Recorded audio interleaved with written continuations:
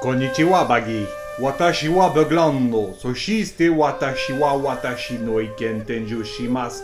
Ghost of Tsushima. Ça veut dire bonjour les buggés, je m'appelle Bugland et je vais vous présenter aujourd'hui mon avis sur Ghost of Tsushima. Allez, c'est parti J'ai pu jouer à Ghost of Tsushima, bien le poncer, vous savez que je vous fais pas une vidéo d'avis si j'ai pas fait quasi 100% du jeu. Là, j'en suis vraiment pas loin et du coup, je pense avoir toutes les clés euh, pour vous présenter 100% du jeu détaillé, la vie détaillée. Hein. Vous savez, la vidéo c'est un peu long, mais il y a tout dedans, hein, c'est ce qu'il faut. Donc Ghost of Tsushima, un jeu fait par Sucker Punch dans l'univers Japon féodal, on incarne Jin Sakai qui est un samouraï hein, de, Tsushima, qui fait partie de l'équipe des samouraïs. Et euh, suite à l'invasion mongole, donc de la période historique, suite à cette invasion mongole, vous allez devoir enfreindre les règles, enfreindre l'honneur pour devenir progressivement le fantôme de Tsushima, parce que Jin aura tendance à partir un petit peu plus du côté euh, moins honorable, c'est-à-dire d'utiliser des assassinats, d'attaquer les ennemis dans le dos, d'utiliser plein de techniques qui ne sont pas du tout autorisées par l'ordre des samouraïs. Voici donc le pitch. Et on va pas se mentir, hein, clairement, on va attaquer directement dans le vif du sujet. Oui, ça ressemble énormément à Assassin's Creed, euh, mais à l'ancienne. Hein. Attention, pas à partir d'origine. Hein,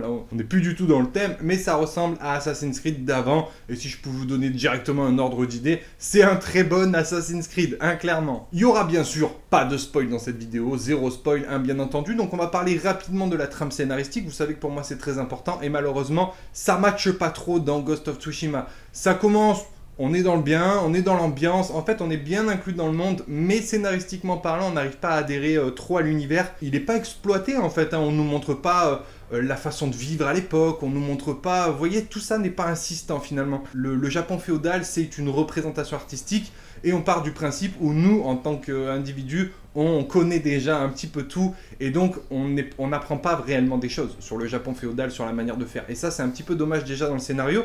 À côté de ça, on a des personnages qui sont assez intéressants euh, dans leur manière de faire. On a le côté euh, japonais très honneur, tu vois, carré, ligne droite, une seule façon de penser, c'est la bonne, c'est la sienne.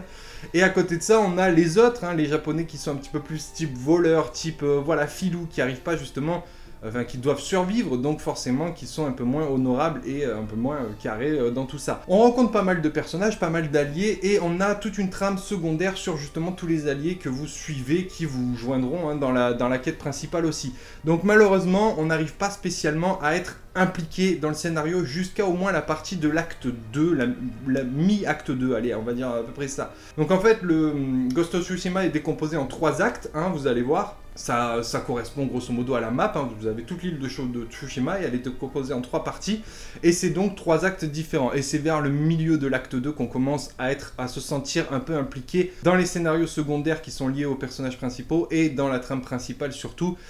Là où on arrive à avoir une réelle implication, euh, c'est vraiment dans l'acte 3 et c'est la fin aussi de l'acte 3, bien sûr, toujours sans vous spoiler. Moi, personnellement, à la fin, j'ai été très pris, j'avais presque la larme à l'œil, c'est pour vous dire à quel point sur la fin hein, j'ai été accroché, mais malheureusement hein, on juge le jeu sur sa globalité. L'écriture est pas mauvaise en soi, euh, mais euh, ça reste assez bateau et on rentre pas vraiment dans, la profondeur des personnages. C'est un petit peu dommage. Et vu que la trame secondaire, alors je vous parle pas des, euh, quêtes annexes hein, qui sont grosso modo assez classiques, là je vous parle vraiment des trames secondaires principales, c'est-à-dire vraiment on suit les personnages, vos alliés du début à la fin c'est-à-dire depuis l'acte 1 à l'acte 3, vous avez des missions secondaires comme ça qui se déplient sur plusieurs actes. Et voilà, il y a des histoires plus intéressantes que d'autres, certains personnages sont plus profonds que d'autres, mais, euh, mais voilà, grosso modo, ça reste assez euh, fade, hein. on n'est pas assez impliqué, je trouve. Au niveau de l'univers, euh, c'est magique, c'est clairement magique, c'est sublime. Alors, graphiquement, c'est pas le plus beau jeu, hein, surtout vous le voyez au niveau des visages, des expressions faciales, etc.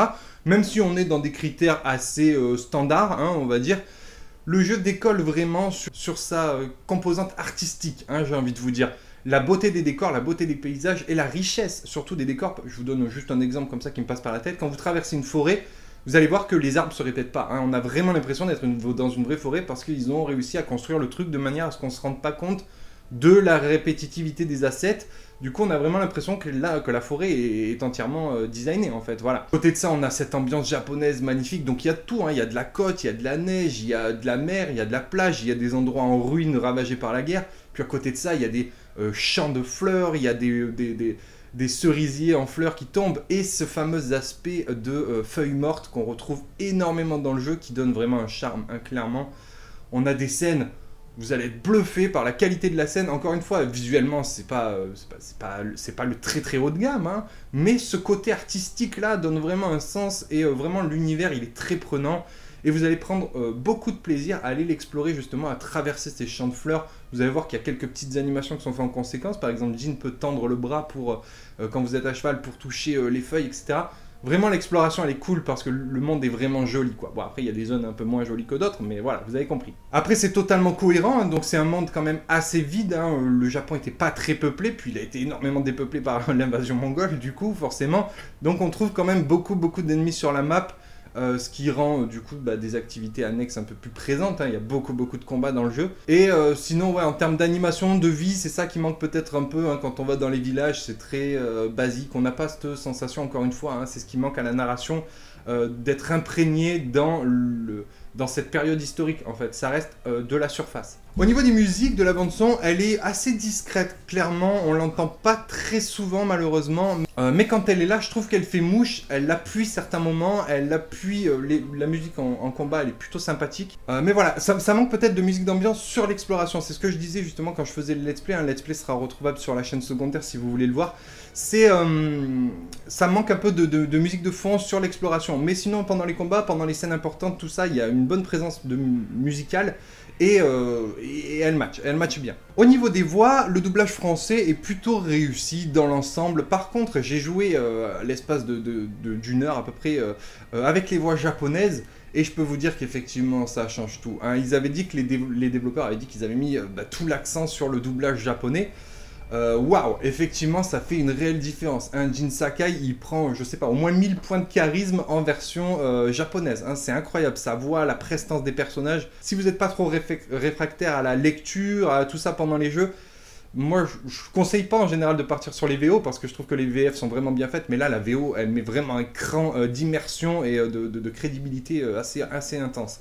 Donc, comme je vous l'ai dit au niveau des graphismes, c'est pas le jeu le plus beau, mais il est quand même très beau. Il est quand même très beau, les paysages sont magnifiques et euh, les animations faciales sont pas non plus à la ramasse complètement, même si un peu figé hein, quand même, on a du mal à percevoir 100% des émotions, mais après tout, les euh, japonais entre guillemets sont justement des gens assez euh, réservé, hein, donc on pouvait pas avoir des expressions ultra prononcées peut-être. Je le justifie un peu comme ça, après je me trompe peut-être, mais voilà, dans l'ambiance, c'est quand même plutôt réussi hein, graphiquement. C'est au niveau de la technique que j'ai été assez bluffé, là je félicite Sucker Punch parce qu'ils ont fait une optimisation sur le jeu de malade mental. C'est facile, ça vous donne un avant-goût de la next-gen au niveau des temps de chargement, c'est un truc de dingue pour vous TP euh, d'un point, même si c'est à l'autre bout de la map, hein, pour vous TP, il vous faut à peu près 5 secondes hein, de chargement. Donc c'est vraiment un bonheur pour ça. Euh, et même pour rentrer dans le jeu, hein, le, je sais pas, le temps de chargement pour rentrer dans le jeu, peut-être genre 20 secondes. Euh, voilà, ça se fait plus de nos jours. En général, les chargements, on, les, on, les, sent. Là, c'était pas du tout le cas, donc c'est vraiment un plaisir. En termes de bugs, j'en ai quasiment pas eu, donc franchement bien optimisé sur ça. Quelques, vous savez, des fois vous sautez dans le décor et vous vous quillez. Vous avez votre personnage qui se met un petit peu à voler comme ça, mais le jeu, euh, au bout de, 5 secondes, si vous touchez papier, il vous euh, TP à l'endroit où vous étiez juste avant de faire la connerie. Donc euh, voilà, même s'il y a des bugs, ils sont vraiment pas gênants. Et en termes de clipping, franchement, j'en ai pas trop vu.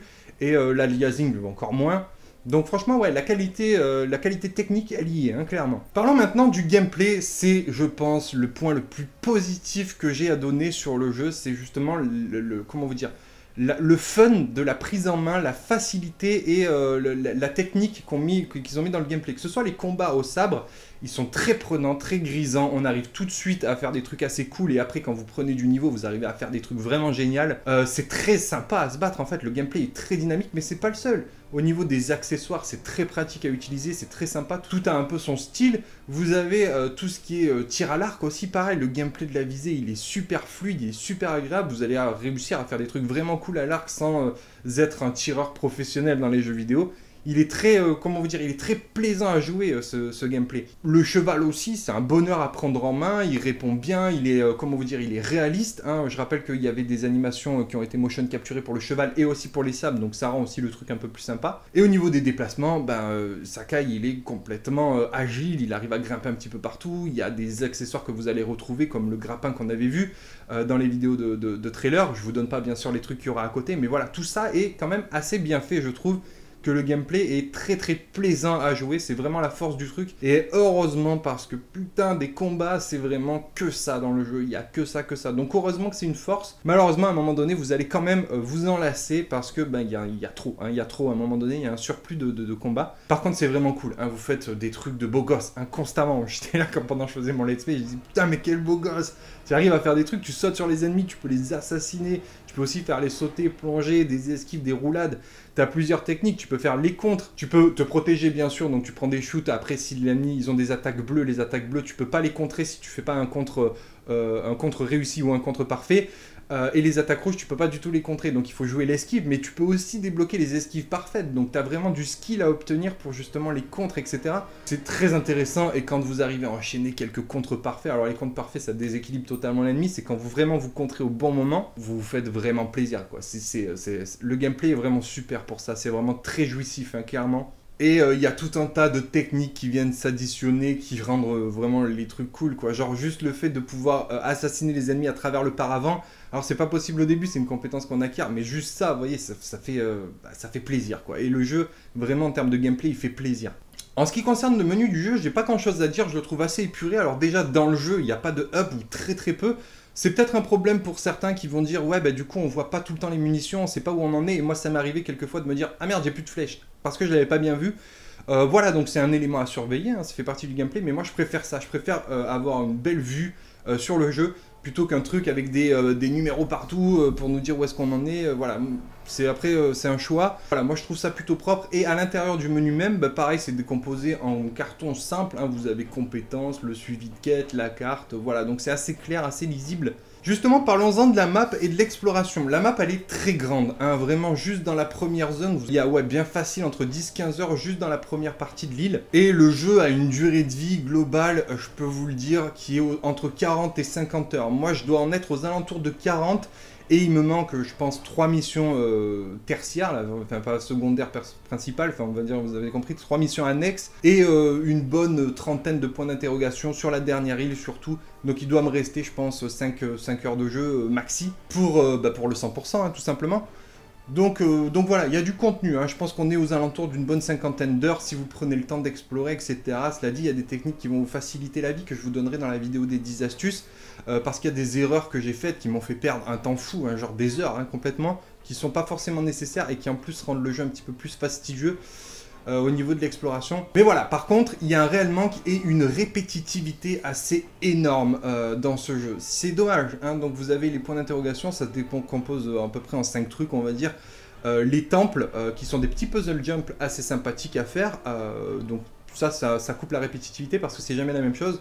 Les renards à suivre qui vous amènent euh, sur un point, bon ça c'est toujours pareil c'est pas très prenant. Les Hansen, là, vous savez, les sources chaudes qui vont vous donner des bonus de vie, ça pareil, c'est sympa parce que vous avez toujours une petite euh, animation où vous devez faire une réflexion sur quelque chose, donc il y a quelques petits dialogues en plus. Euh, après, c'est des points euh, juste à trouver pour obtenir des skins, des phares à, allumer. Après, vous voyez, c'est très de la répétitivité. Vous avez un autre truc qui est aussi sympa, c'est les moments de, de, poésie en fait. Vous savez, les samouraïs étaient très calés aussi au niveau de la poésie. Et des fois, vous avez des ambiances comme ça où c'est des points d'interrogation qui mènent sur une scène magnifique et vous devez écrire un petit poème, très sympa à faire. Mais voilà, après, à côté de ça, de ces trucs un petit peu originaux, on va dire, c'est que du camp. Hein, que ce soit des villages, que ce soit des forts ennemis, que ce soit des machins.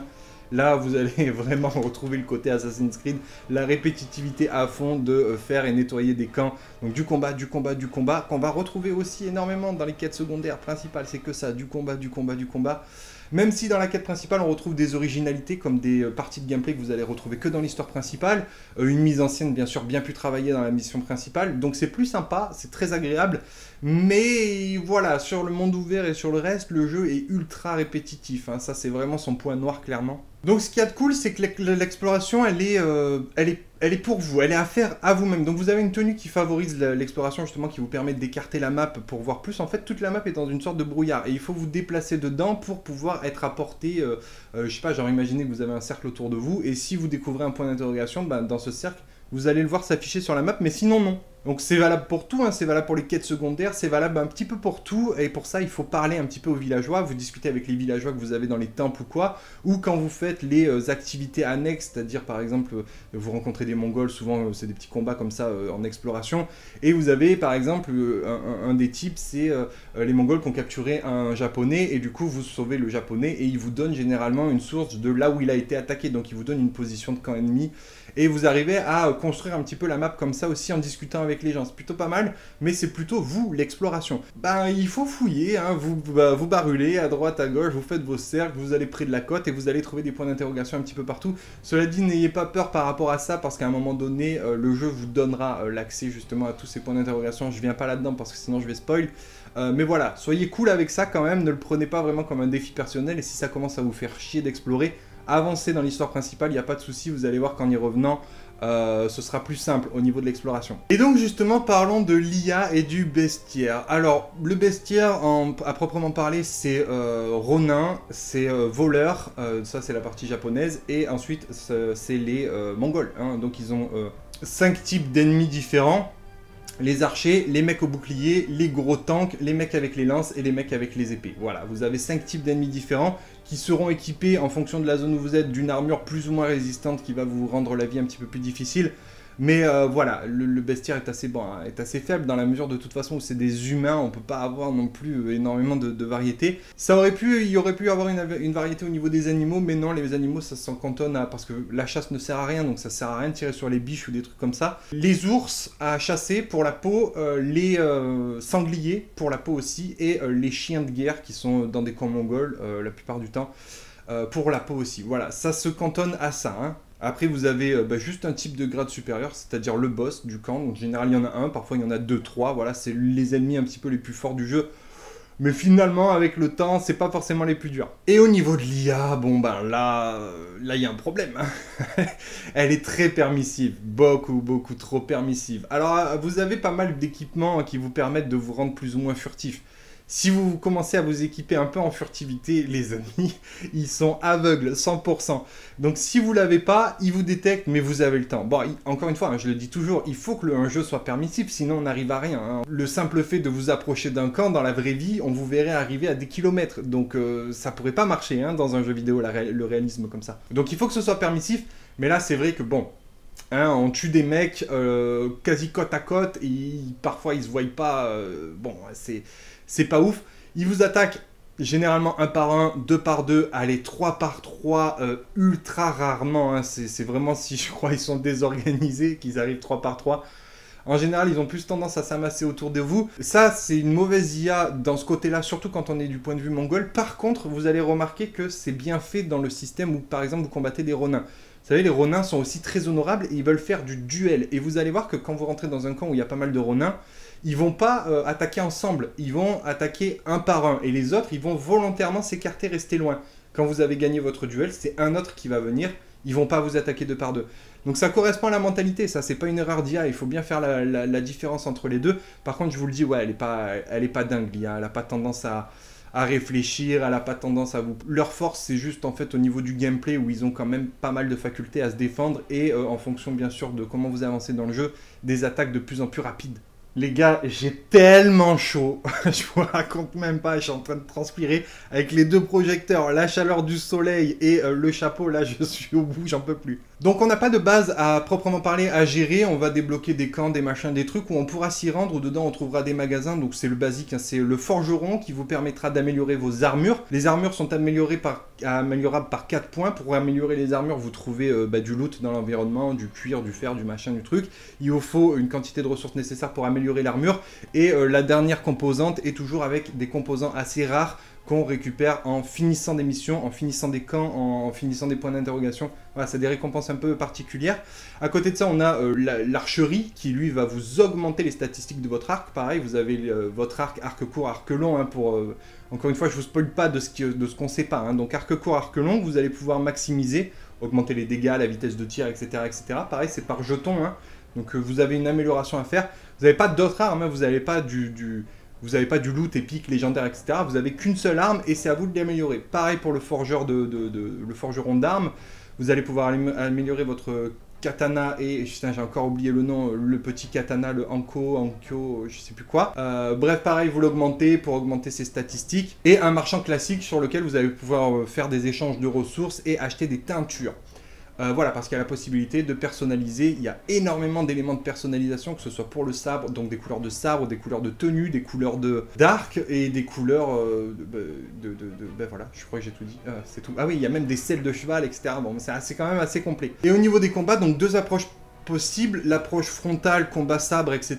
et l'approche discrète, combat assassinat, etc. Je vous dis, dans les deux cas, c'est kiffant, hein. vraiment le gameplay est ultra kiffant. En assassin, vous allez pouvoir faire vraiment des trucs euh, énormes, vous avez vraiment plein de possibilités. Attaquer, vous pouvez attaquer jusqu'à 3 ennemis en même temps en étant discret en fonction des compétences que vous prenez. Pareil, l'arbre de compétences en soi, c'est vrai que j'en ai pas parlé, mais vous avez plein de choses et tout est intéressant. Au début, vous allez voir, vous dites, putain, mais je veux tout, hein, je veux tout. Donc, plein de trucs pour le côté assassin, où vous allez euh, choper euh, des gadgets, améliorer vos gadgets, etc. Euh, augmenter votre capacité d'assassinat, tout ça. Et de l'autre côté, le côté samouraï, où vous allez pouvoir améliorer vos statistiques de combat au sabre, mais aussi vos styles de combat. Il y a quatre styles de combat en tout qui sont favorables à un type d'ennemi. Exemple, vous avez le style de la pierre, qui est le style que vous avez au tout début, qui est favorable contre les ennemis qui sont euh, au sabre ou à l'épée. À côté de ça, derrière, vous allez euh, choper le style du vent, le style du machin, le style du truc. Il y en a un qui sera plus favorable aux ennemis qui ont des boucliers, un qui sera plus favorable aux ennemis qui ont des lances, et un qui sera plus favorable aux ennemis qui sont assez euh, gros. En gros, vous avez vu, on a refait le bestiaire, hein. donc vous avez vraiment des contres. C'est pas nécessaire de les prendre, vous pouvez tout faire avec un seul style, ça pose pas de problème du moment que vous gérez l'esquive et que vous savez après aborder les ennemis, mais ça facilite énormément la vie. Je vous donne un exemple, si vous avez le style de pierre et que vous tombez contre un, mec qui a le bouclier, il faut mettre des attaques triangles justement pour euh, casser sa garde. Euh, il va vous en falloir 6, 7, 8, 9 en fonction des ennemis, ça peut être très long. Alors que si vous prenez le bon style, en 2-3 coups, vous le déséquilibrez. Faisons un petit point sur la difficulté du jeu. Euh, au début, c'est dur parce que vous ne savez pas trop jouer et vous savez, c'est toujours un petit peu dur. Alors, j'ai commencé le jeu en normal. Vers le milieu du chapitre 2, euh, je me suis mis en difficile parce que je trouvais le jeu justement un peu trop simple une fois que vous connaissez vraiment bien les mécaniques et que vous arrivez à bien faire vos contres et tout. Euh, donc le jeu c'est facile, moyen, difficile et euh, je vous le dis, j'ai passé du coup tout le reste de ma game en difficile sans avoir vraiment de difficulté. Donc si vous recherchez la difficulté, bah finalement c'est pas votre jeu. Hein. Alors ouais, faut rester à l'affût des ennemis, faut être concentré, hein, gérer le compte, s'ils sont deux, les mettre en ligne, s'il y a un archer qui tire faire attention, écouter, esquiver sa flèche aussi en même temps. Ouais, ça demande une certaine concentration, mais franchement, le niveau de difficulté ne change quasiment rien. Ça change quoi? Bah, Pour vous faire simple, les ennemis sont un peu plus rapides, j'ai trouvé. Les ennemis euh, frappent un peu plus fort. Ouais, allez, beaucoup plus fort. C'est-à-dire qu'au lieu de vous mettre 4 coups pour vous tuer, ils en mettront 2. Bon, et encore, euh, et encore, et encore. C'est peut-être moins déséquilibré que ça. Euh, le timing des contres qui est beaucoup plus difficile à tenir. Donc pour faire un contre parfait, ça devient très difficile. Pour faire des contres, ça devient un peu plus difficile justement. Et euh, au niveau de la confrontation, vous savez, le fameux truc où vous rentrez dans un camp au départ, vous pouvez lancer une confrontation, c'est-à-dire tuer directement un ennemi du camp. Après ça, ça s'améliore aussi. Vous pouvez tuer jusqu'à 3 euh, ennemis et même avec une certaine tenue jusqu'à 5 ennemis comme ça en one shot. Euh, là, c'est un jeu de timing et ce jeu de timing en normal était assez simple à réaliser. En difficile, par contre, je peux vous dire que c'est euh, très dur de le caler, de gagner la confrontation. En fait, voilà, c'est surtout le timing hein, en difficile. Mais c'est pareil, une fois que vous êtes bon sur le timing, bah, vous pouvez jouer en difficile et rouler sur le jeu sans problème. Donc il n'y a pas une réelle difficulté, je trouve. Concernant le endgame, euh, ben, en fait, à la fin du jeu, vous pouvez accéder à la map normale, continuer vos quêtes, vos missions secondaires. Donc il n'y a pas de endgame à proprement parler. Euh, j'ai pas eu euh, encore la possibilité de rebooter tous les camps, mais, mais j'ai fait tous les camps. Donc je pense pas que ce soit possible de reboot tous les camps. je pense que vous avez tout simplement accès à la map à la fin de la game, hein, tout simplement. Pour, bah, pour finir ce que vous avez à faire. Ok, on va passer au point presse. Et euh, avant ça, je vais aller prendre l'air deux minutes. Re les petits buggés, j'ai même mis le ventilateur là. je je j'en pouvais plus. Bon, alors, on est sur le site Metacritic et on a la note. D'ailleurs, j'ai pas précisé, mais c'est une exclu PS4. Ça, j'aurais dû le préciser au début. Bon, voilà. Une note de 84 euh, au score Metacritic. On n'a pas encore la vie des joueurs pour le moment. On se basait sur 87 cri- critiques, qui est euh, plutôt euh, pas mal. Allons voir côté jeuxvideo.com qui eux ont mis la note euh, déconcertante, j'ai envie de vous dire, de 15 sur 20. Encore une fois, c'est à se demander s'ils ont vraiment joué au jeu. hein. D'ailleurs, dans leur test de, de 5 minutes, là, ils disent il faut 20 heures pour terminer la mission principale et explorer un petit peu. Euh, en 20 heures, t'as pas vu grand chose, à mon avis. hein. Bref, des environnements envoûtants, on est d'accord. Une exploration guidée par le regard. Alors, ce fameux vent dans l'exploration, le guide, c'est juste une idée de génie. C'est super bien, ça remplace complètement la boussole. Vous mettez un marqueur, le vent va vous diriger. C'est très lisible, hein, vous voyez vraiment la direction du vent par les feuilles mortes, par le sens, par tout ça. Et, euh, et ça vous guide pas non plus à 100%, c'est-à-dire que ça va pas vous dire le chemin à prendre. Vous voyez, c'est vraiment pas un truc GPS. C'est à vous de vous orienter après avec le vent. Euh, c'est vraiment super. Pour l'immersion, pour tout, c'est vraiment une idée euh, excellente. Vous voyez, dans Assassin's Creed, ça devrait être un truc comme ça. Ça devrait être peut-être le corbeau qui nous guide. Vous mettez un point GPS et vous suivez le corbeau. Voilà. Je donne des idées, moi, hein, Ubisoft. Vous inquiétez pas, il n'y a pas de souci. Euh, la physique du vent, ouais, très réussie. Le monde condensé, pas trop grand ni écrasant. Moi, je le trouve quand même assez grand euh, et euh, malheureusement comme un peu répétitif. La lente transformation du héros et ses répercussions, voilà, c'est là qu'on commence, comme je vous l'ai dit, à accrocher au niveau du scénario. hein. C'est quand Jin commence à, devenir plus profond, en fait. Le contexte historique, déchirant et passionnant. Alors, c'est vrai que les quêtes sont très matures. hein. Là, au niveau de, l'écriture, de la mise en scène, c'est plutôt pas mal. En ce qui concerne les démembrements, je vous en ai pas parlé aussi, mais je vous en parle. Du coup, c'est assez contextuel. Euh, finalement, les combats au sabre ne démembrent pas particulièrement. C'est des compétences qui vont vous permettre de démembrer.